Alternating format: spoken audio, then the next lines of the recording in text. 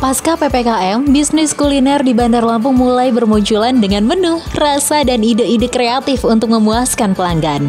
Salah satu bisnis kuliner di Bandar Lampung yakni restoran Kapau Bagindo dan Bandar Kuring. Kedua restoran tersebut beralamat di satu lokasi yang sama, yakni di Jalan Pagar Alam nomor 175, Gunung Agung, Kecamatan Langkapura, Kota Bandar Lampung.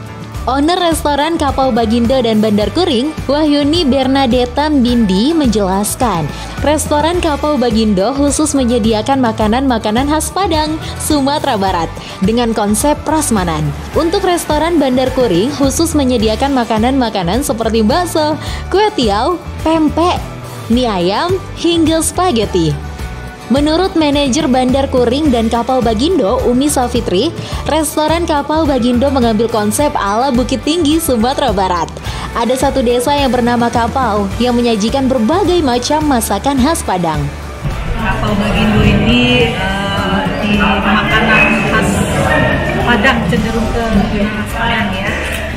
Terus kalau yang di Bandar Kuring ini makanan Nusantara, jadi ada bakso, ayam, tiaw, ada pempek, ya macam-macam ada spaghetti pun ada.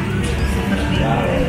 Kita membawa hmm, ciri khas dari Bukit Tinggi itu ada di uh, daerah Padang itu namanya desa kapal dan desa kapal ini memang ciri khasnya ya mem, apa menyajikan berbagai berbagai macam masakan, sekaligus oh. Kita pengen kita ini lebih lengkap daripada kapal yang lainnya.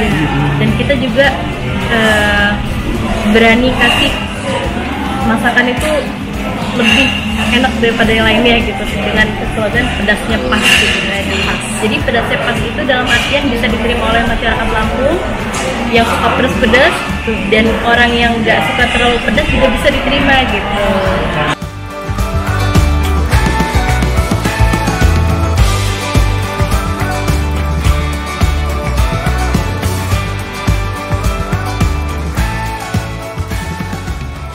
Masakan yang ada di Kapau Bagindo lebih lengkap dari hidangan kapau lainnya dengan mengusung slogan pedas pas yang mempunyai arti bisa diterima dengan beragam lidah masyarakat.